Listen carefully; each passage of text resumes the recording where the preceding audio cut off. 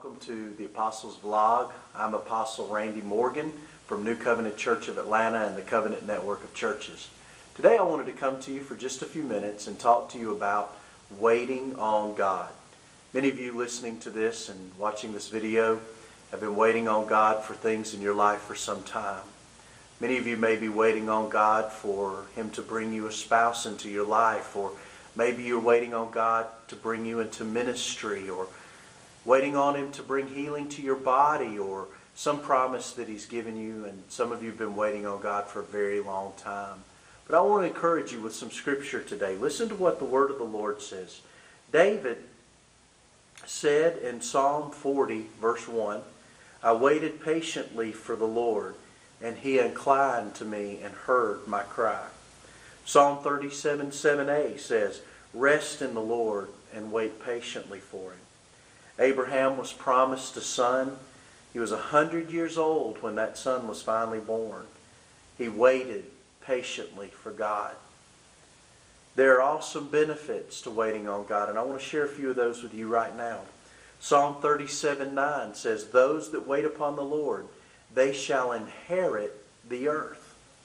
Psalm 37 34 says the same thing, and it says, Wait on the Lord and keep his way, and he shall exalt you to inherit the land. Those two awesome promises mean those that wait and become skilled in the art of waiting on God will inherit the promises of God and will inherit land and, and, and build blessings. God has blessings for you today to inherit. But before you can inherit those blessings, you must become honed and skilled in waiting on Him. These two scriptures promise that they who wait on the Lord will be blessed.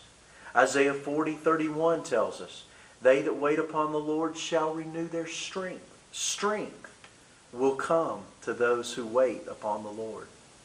And Lamentations 3:25 says that the goodness of the Lord is activated by those who wait for him.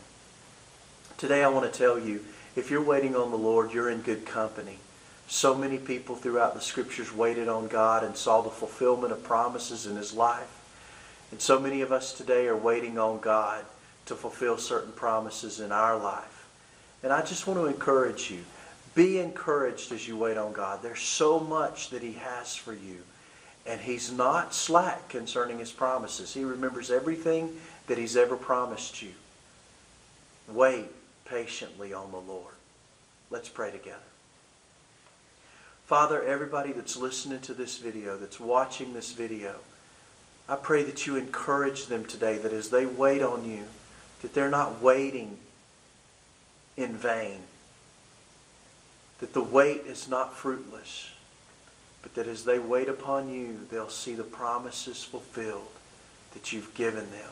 Help them to hold on to Scripture. Help them to hold fast their confession of faith. In Jesus' name, amen. God bless you, and I look forward to seeing you soon.